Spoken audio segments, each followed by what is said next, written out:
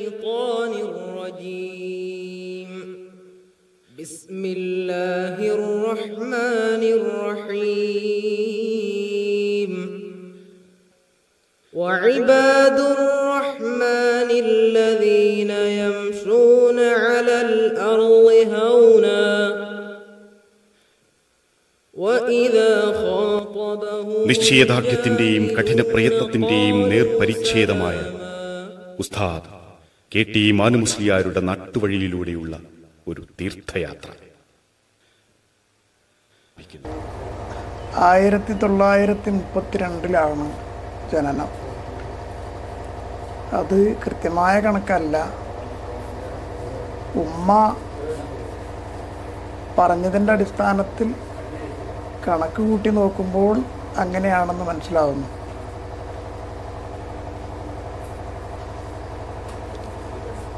നാലാമത്തെ വയസ്സിലാണ് സ്കൂളിൽ ചേർത്തത്. അന്ന് ബ്രിട്ടീഷ് ഭരണകാല.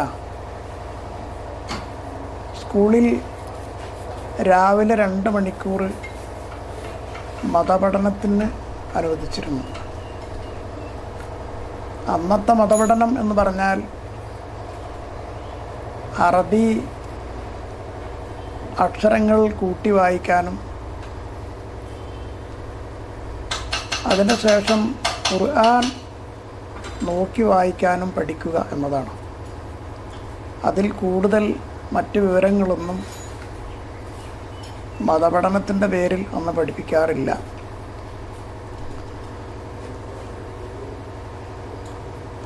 കണ്ണത്ത് ബോർഡ് മാപ്പിള സ്കൂൾ എന്നായിരുന്നു ആ സ്കൂളിന്റെ പേര്. അപ്പം മുസ്ലിം കുട്ടികൾ കൂടുതലുള്ള പ്രദേശമായതുകൊണ്ട് മുസ്ലിംകൾക്ക് പ്രത്യേകമായ ഒരാനുകൂല്യം എന്ന നിലക്കാണ് രാവിലെ രണ്ട് മണിക്കൂർ മതപഠനത്തിന് ഗവൺമെന്റ് അനുവദിച്ചിരുന്നത്. അങ്ങനെ നാലാമത്തെ വയസ്സിൽ സ്കൂളിൽ ചേർത്തു. മതപഠനവും സ്കൂൾ പഠനവും ഒന്നിച്ച് കൊണ്ടുപോയി. കരുവാരകുണ്ടിൽ ഒരനാഥശാല എന്ന ആശയം. കൊല്ലങ്ങൾക്ക് മുമ്പേ ചിലരുടെ മനസ്സിലുണ്ടായിരുന്നു. ആ കൂട്ടത്തിലൊരാളാണ് ഞാൻ. ഇത് ചിലരോട് ഞാൻ പ്രകടിപ്പിക്കുകയും ചെയ്തിരുന്നു. അപ്പോഴാണ് സമസ്ത കേരള ജമ്മിയത്തുലുലമ മലപ്പുറം ജില്ലാ കമ്മിറ്റി. കരുവാരകുണ്ടിൽ ഒരു ആരംഭിക്കണമെന്ന തീരുമാനത്തിലെത്തിയത്. അതിന്റെ അടിസ്ഥാനത്തിൽ കരുവാരകുണ്ട് മർഹൂം സയ്യിദ് കോയക്കുട്ടി തങ്ങളുടെ വീട്ടിൽ വിവിധ മഹല്ലത്തുകളിൽ നിന്നുള്ള പ്രതിനിധികളെ വിളിച്ചു ചേർത്ത് ഒരു താൽക്കാലിക കമ്മിറ്റി രൂപീകരിക്കുകയും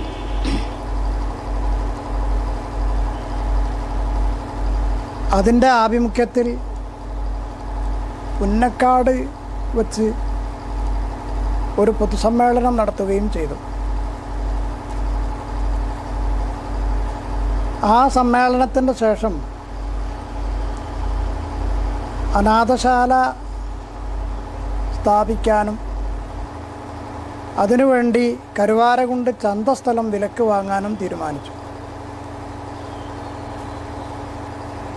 അങ്ങനെ താൽക്കാലികമായി രൂപീകരിക്കപ്പെട്ട കമ്മിറ്റി പ്രതിനിധികൾ ചന്തസ്ഥലത്തിന്റെ ഉടമയായ വണ്ടൂര് മൂസക്കുട്ടി ഹാജിയെ സമീപിച്ചു. സ്ഥലം കച്ചവടം ചെയ്തു. അതിന്റെ വില നൽകാൻ ആറ് മാസത്തെ അവധിയും നിശ്ചയിച്ചു. അങ്ങനെ ആറ് മാസം കഴിയുന്നതിന് മുമ്പായി ധനശേഖരണത്തിന് വേണ്ടി പ്രധാനപ്പെട്ട ആളുകൾ ഒരു വണ്ടിയും എടുത്ത് പല ഭാഗങ്ങളിലും നടക്കുകയുണ്ടായി. അതിലാദ്യത്തെ പ്രതികരണം തന്നെ പ്രതീക്ഷയ്ക്കെതിരായിരുന്നു. ആദ്യം സമീപിച്ച ആൾ പറഞ്ഞത് സമസ്തയുമായുള്ള ബന്ധം വേർപെടുത്തണം എന്നാണ്. വിചാരിക്കാത്ത പ്രതികരണമുണ്ടായതുകൊണ്ട് മനസ്സിൽ വേദനയുണ്ടായി. പിറ്റേന്ന് രാവിലെ തന്നെ ഞാൻ അനാഥശാലയ്ക്ക് വേണ്ടി രൂപീകരിക്കപ്പെട്ട കമ്മിറ്റിയുടെ പ്രസിഡന്റ് ചാപ്പനങ്ങാടി ബാപ്പംസ്ലിയാരായിരുന്നു അദ്ദേഹത്തിന്റെ വീട്ടിലേക്ക് ബസ് കയറി. അങ്ങനെ പെരുമഴയാണെന്ന് അങ്ങനെ അദ്ദേഹത്തിന്റെ വീട്ടിൽ ഞാൻ കയറി ചെന്നപ്പോൾ എന്റെ മുഖഭാവം കണ്ട് എന്തോ അത്ര ശരിയല്ല എന്ന് അദ്ദേഹം മനസ്സിലാക്കി.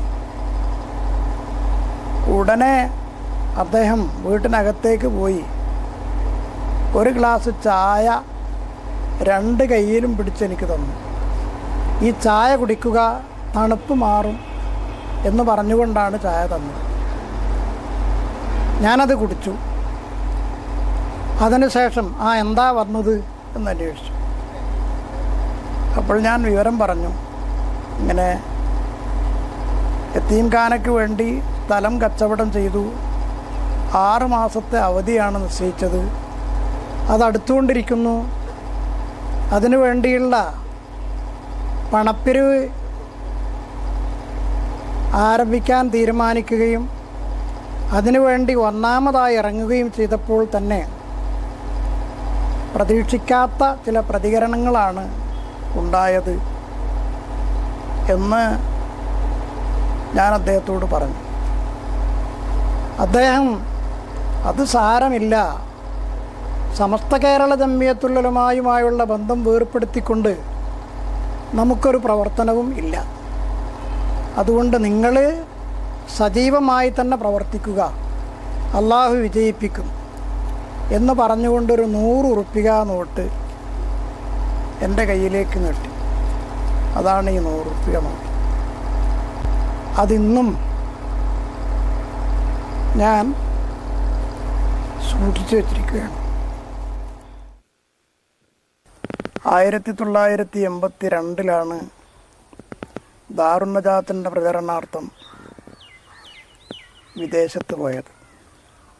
അതായത് യു എയിൽ വളരെ കൊല്ലങ്ങൾക്ക് മുമ്പ് ഈ നാട്ടിൽ നിന്ന് അവിടെ പോയി താമസിച്ചിരുന്ന മഠത്തിൽ മുഹമ്മദ് ആജി എന്ന് പറയുന്ന ഒരാൾ റാസൽ കൈമയിലുണ്ടായിരുന്നു അദ്ദേഹവുമായി ബന്ധപ്പെട്ട് ഒരു വിസ തരപ്പെടുത്തുകയും അങ്ങനെ ആദ്യമായി തൊള്ളായിരത്തി എൺപത്തി രണ്ടിൽ റാസൽ ഖൈമയിലേക്ക് ഇവിടെ നിന്ന് യാത്ര പുറപ്പെടുകയും ചെയ്തു.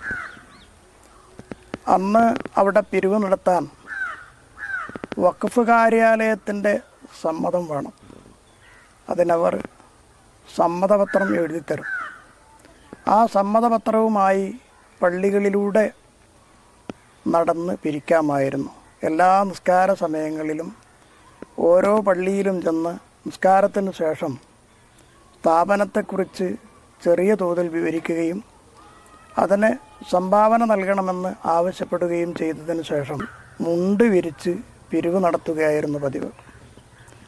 ആ തവണ നല്ല ഒരു തുക സ്ഥാപനത്തിന് വേണ്ടി ലഭിക്കുകയുണ്ടായി. നിറഞ്ഞ സമർപ്പണത്തിന്റെ തിരുശേഷിപ്പുകളാണ് ഈ കാണുന്ന മിനാരങ്ങൾ. ആയിരത്തി തൊള്ളായിരത്തി എൺപത്തി അഞ്ചിലാണ് നജാത് നഗറിലെ മനോഹരമായ മസ്ജിദ് ഉദ്ഘാടനം ചെയ്യപ്പെട്ടത്. ഇത് അനാഥകൾക്ക് തണൽ വിരിച്ച അക്ഷരമുറ്റം. ദാറുൻ നജാത്ത് അനാഥ അഗതി മന്ദിരം കാലത്തിനൊപ്പം ചരിത്രത്തിലേക്ക് നടന്നു കയറാൻ നജാത്ത് പ്രതിജ്ഞാബദ്ധമാണ്. നജാത്ത് ഇംഗ്ലീഷ് മീഡിയം സ്കൂളിന്റെ ഒരു ദൃശ്യം. പ്രൗഢഗംഭീരമായ സമുച്ചയം. വിജയത്തിന്റെ നൂറുമേനി വിതച്ചുകൊണ്ടിരിക്കുന്ന നജാത്ത് ഹയർ സെക്കൻഡറി സ്കൂൾ. അറിവ് വിൽക്കുന്ന സമകാലിക ലോകത്ത് സേവനത്തിന്റെ അതുല്യ മാതൃകയായി ഇതാ ഇവിടെ Najath Arabic college. Orphanage U P സ്കൂളും മദ്രസയും. ശാസ്ത്ര സാങ്കേതിക തികവിന്റെ പുതിയ പരീക്ഷണശാല. Najad college of science and technology പുതിയ കെട്ടിടം.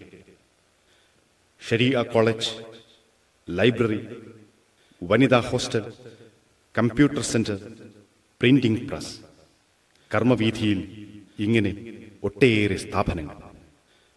വിദ്യാഭ്യാസ സമന്വയത്തിന്റെയും സാംസ്കാരിക നവോത്ഥാനത്തിന്റെയും സർവമത സൗഹാർദ്ദത്തിന്റെയും വെളിച്ചം പരത്തിയ നജാത്തിന്റെ പടവുകൾ ഇവിടെ അവസാനിക്കുന്നില്ല. പുരോയാനത്തിനുള്ള പ്രയത്നങ്ങൾ പ്രയാണം തുടരുക തന്നെയാണ്. കർമ്മത്തിന്റെ സാക്ഷിയായി അതിന്റെ ശില്പിയോടൊപ്പം. തിരക്ക് പിടിച്ച ജീവിതത്തിനിടയ്ക്ക് അപൂർവമായി കിട്ടുന്നതാണ് ഈ കൂടിച്ചേരൽ. വിനയം കൊണ്ട് വിജയ വിസ്മയങ്ങളുടെ ചക്രവാളങ്ങൾ കീഴടക്കിയ ഉസ്താദിന്റെ ജീവിതം തന്നെ വലിയ സന്ദേശം. പൂർവസൂരികൾ നടന്നുപോയ പാതയിൽ പ്രയാണം തുടരുകയാണ് ഇപ്പോഴും പാഥേയമായി സ്മൃതിയുടെ പാണ്ഡവും പ്രതീക്ഷയുള്ള പിന്മുറക്കാരും മാത്രം. കൈതലം കൊണ്ട് തുടച്ചു നീക്കി. ഇരുൾ വീണ വഴികളിൽ ഇടറുന്ന മനസ്സുകൾ കിരുകരം നീട്ടി. വെളിച്ചമേകി ആർത്തനാദങ്ങളാ ആർദ്രമാം മാനസം മുഖമായി ഏകനായി ഏറ്റുവാങ്ങി. നിർത്തടം തീർത്തു വരണ്ട മനസ്സിന്റെ മുറ്റത്ത് നിലാവിൻ നിഴൽ വിരിച്ചു. കാടന്റെ കരളിൽ കരുണ നിറച്ചന്ന് കനകാക്ഷരങ്ങൾക്ക് തിരിതെളിച്ചു. തീർത്ഥമായി നിർച്ഛരിയായി കനിവിന്റെ സംസമായി സാന്ത്വന സംഗീതമായി ഒരു ഗോപുരം തീർത്തു. അണയാ വിളക്കായി ഏഴയായി കേഴുവോർക്കാശ്രയമായി